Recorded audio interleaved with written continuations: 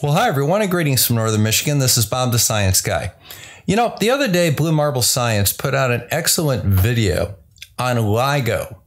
Now, LIGO is a laser interferometer, and it has two pipes that go out at right angles that are four kilometers long. Now, one of the problems that you run into is that they have to be perfectly straight. So, what he did was he got out the construction documents for LIGO and demonstrated that in order to make those pipes straight, they had to actually adjust the footings for the curve of the earth underneath it, and he used that as a curved earth proof. Now, these two flat earth scholars, Cleary and Brian Linke, decided to quote unquote debunk him on that. So they put out some silliness, and Blue Marble Science responded to it. Well, good for them. But I got to thinking, these two geniuses are challenging a retired engineer that built a scale model of the Cavendish experiment in his garage and is measuring G to within one tenth of a percent. And I really don't think that that's the hill they want to die on. But I got to thinking Blue Marble Science has some cool stuff. But you know what he doesn't have? He doesn't have a 2,500 foot water level in his backyard and an auto level. Let's cue up the music and go measure the curve of the Earth.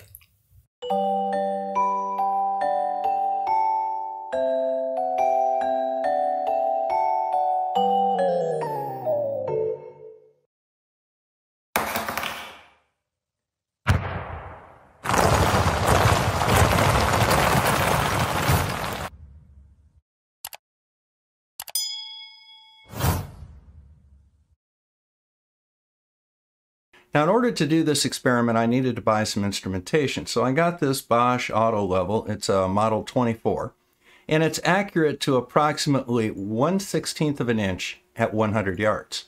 Now, let's take a moment and just talk about what accuracy of an auto level means. Now, this compass has two arms, and it forms an angle right there. That angle is not dependent on the length of either of these arms.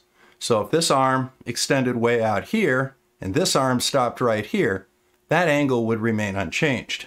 Now the way the auto level works is that you level the base of this tripod with a spirit level. And then you use a small spirit level that's on the other side over here and these knobs to precisely make this base level. Now, as a final check, inside there's a small pendulum or like a plumb bob and that hangs straight down along the line of gravity. Now, the telescope's optical train is set 90 degrees to that vertical. And as a result, once this is set up and calibrated, when you look through the telescope and look at an object in the crosshairs in the distance, whatever those crosshairs are on will be exactly horizontal to this point right here at the auto level. Now, one criticism that I've had from the science denial community is that the manual for this auto level says that its working range is 100 yards, and that's absolutely correct.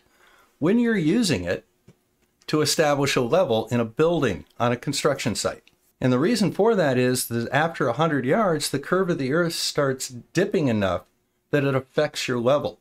Your horizontal is no longer collinear with your level. Now, that's exactly what we're looking for.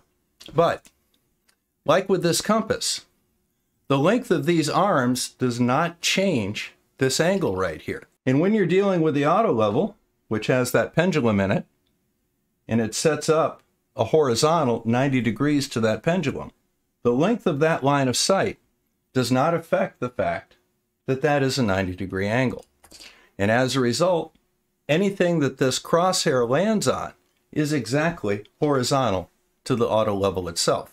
So their criticism is that you can't use this over 100 yards because the curve of the earth gets in the way, and we're actually using it to measure that curve of the earth. So basically their criticism is nonsense and it's an attempt to deny the fact that we're actually going to measure the curve of the earth. So let's see how I set up the experiment. Now, at my house, I have a flagpole that has these two support structures on either side of it that you attach the flagpole to. And then what I did was I went out to the dock and I zip tied a pole to one of the supports for my dock, and the end of the pole was just touching the surface of the water. And then I took my auto level and I found where the crosshairs were on that pole and I marked it.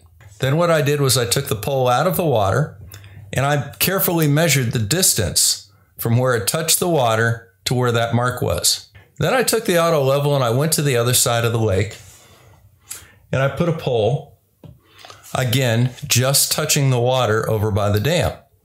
I set up my auto level. I found a spot on that pole and then I translated that spot to a light pole that was nearby, much like my flagpole. So now I have a benchmark on that side of the lake. So now I have two reference marks on either side of the lake that are in reference to the level of the water, and I can make a measurement. Now, one of two things would happen. Either one, it'll line up with the top of the cable box, or two, it will be above the cable box. Situation one, we have a flat plane between the cable box and my house. Situation two is the water is curved along with the curve of the earth, and there will be a drop between my backyard and the side of the lake that has the cable box. And just in case you were wondering, the distance, that's 2,552 feet. How do I know that? Well, I measured it on Google Earth. Well, I just described to you my method, but let me go ahead and show it to you so that you see that I followed the method. Here is the dam, and as you can see, I've got my pole right at the side of the dam. Here is the light pole, and here is the charter cable box. I measured the distance from the surface of the water, then I translated it over to the light pole, and as you see, that's 96.5 inches. Now, once I had the reference distance on the light pole, I could look on the auto level and line up the top of the cable box. And then I can bring that over and I can find out exactly where that is on the light pole. It's a simple matter to measure the distance between my reference mark and the mark that represents the top of the cable box and give me an elevation above lake level for the top of that cable box. Now, in a perfect world, the crosshairs would be on top of the cable box, or they wouldn't be on top of the cable box. And the reason the world is perfect is that there's no instrument or operator error present.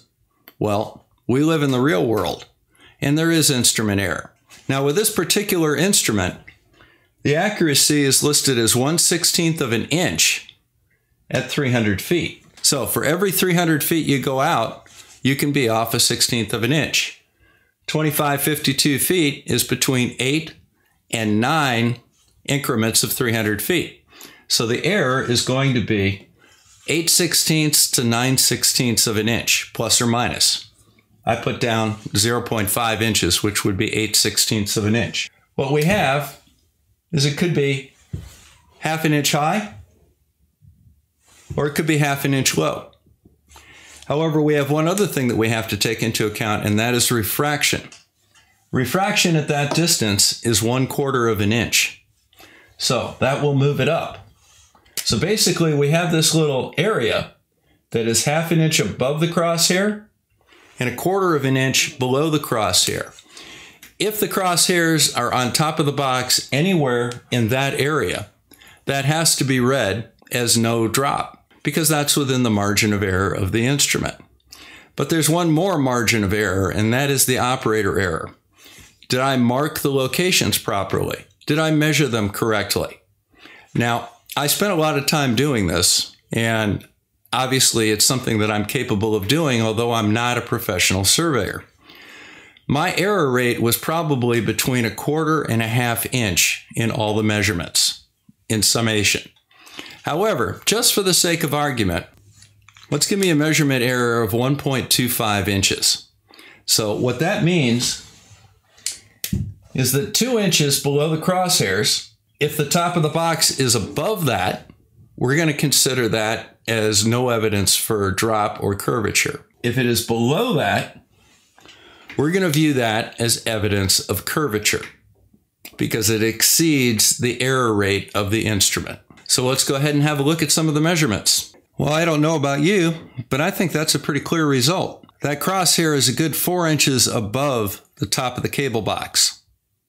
But let's go ahead and make sure that we can mark it to be sure. So what we'll do is we'll go back over to the other side of the lake and we'll take some masking tape. We'll mark where the top of the cable box is, and then we'll give a visual cue four inches up with another piece of tape so we can roughly estimate how high that crosshair is.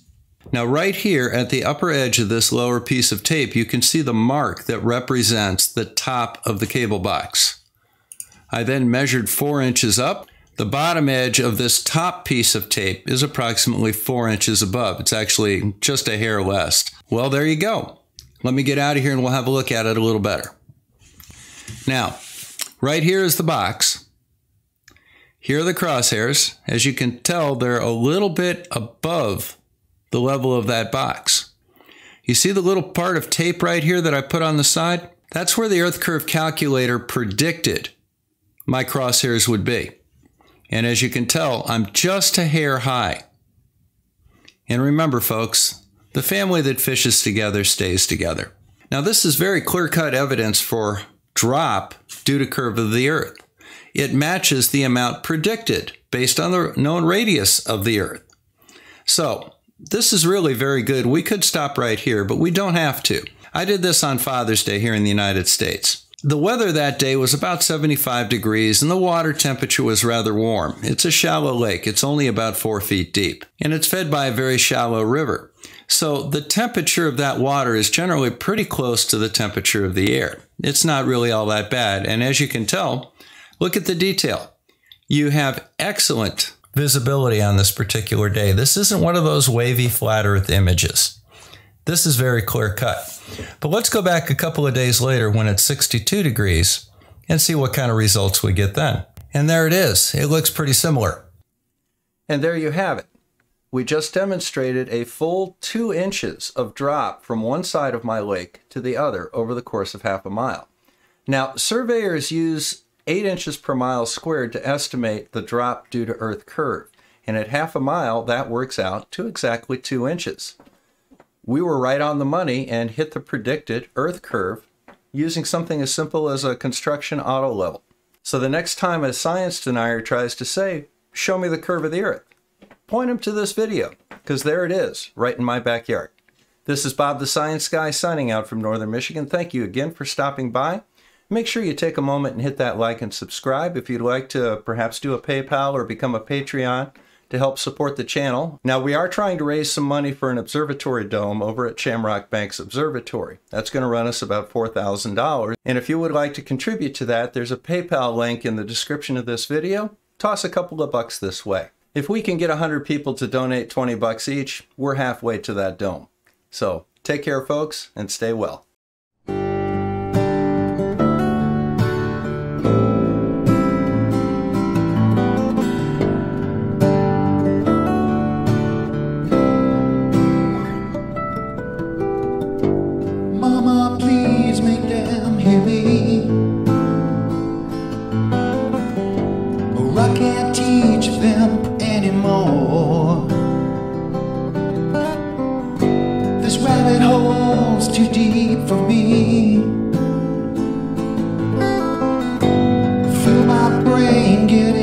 Science